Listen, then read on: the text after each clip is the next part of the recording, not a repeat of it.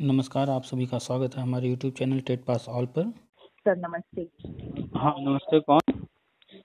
Sir मैं वाराणसी से हम्म। Hello. हाँ बोलिए। हाँ सर मुझे कुछ जानकारी चाहिए था आपसे। हम्म।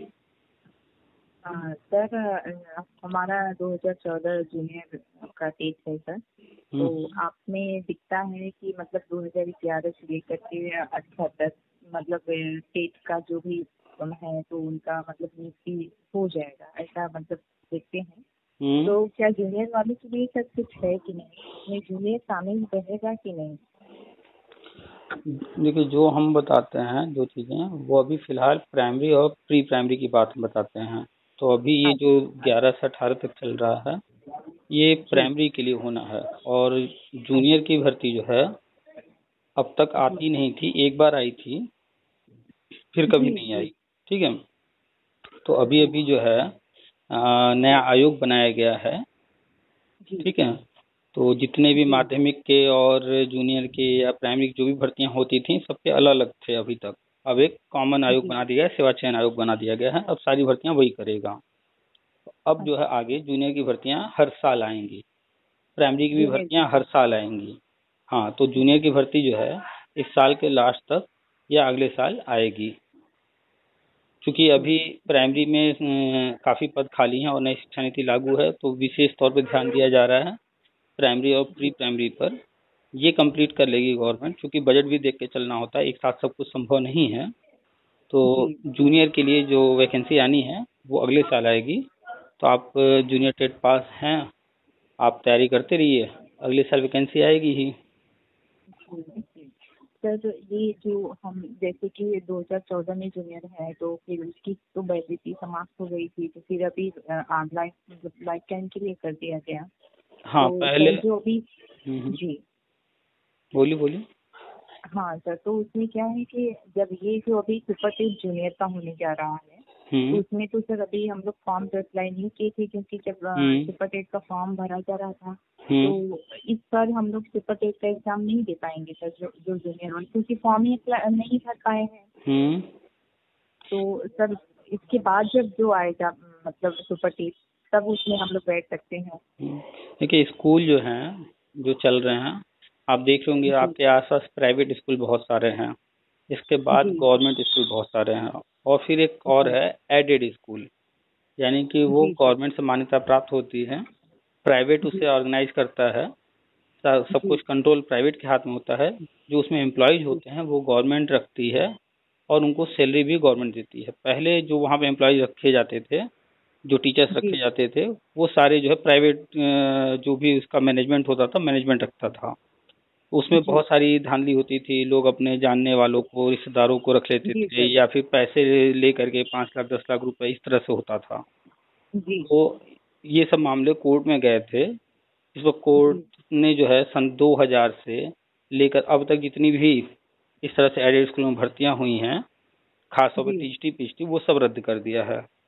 और और रद्द करने के बाद उस पर अभी जो है जूनियर का आप देख रहे होंगे कहीं कुछ भी नहीं आता है।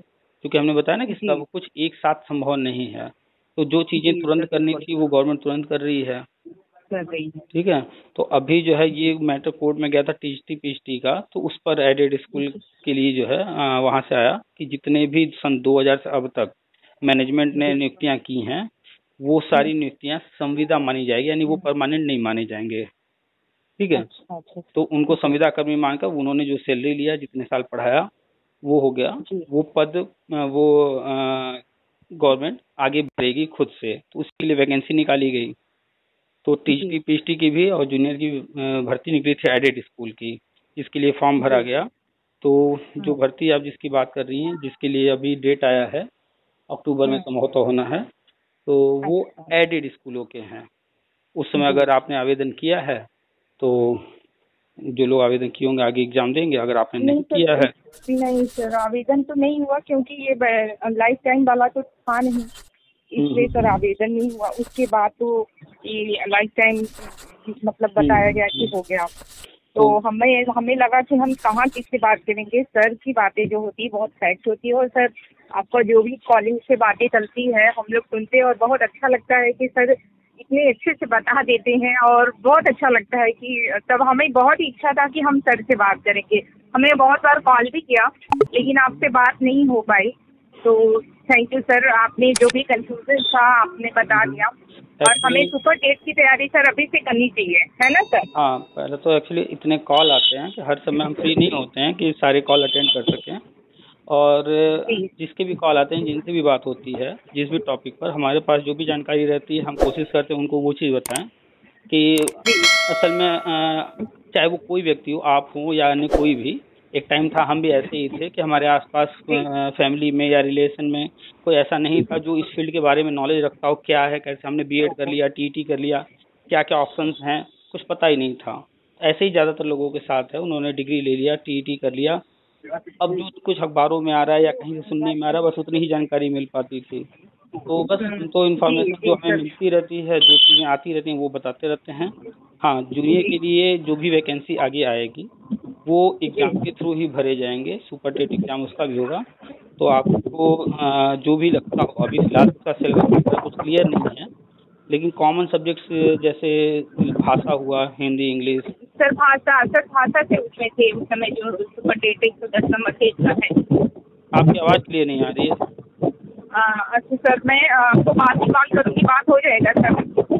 ठीक है लग रहा कहीं सफ़र में हैं आप। जी जी सर जी। सॉरी सर हम आपसे बाद में बात कर सकते हैं। चलिए ठीक है फिर बाद में बात होगी। Thank you thank you sir thank you sir welcome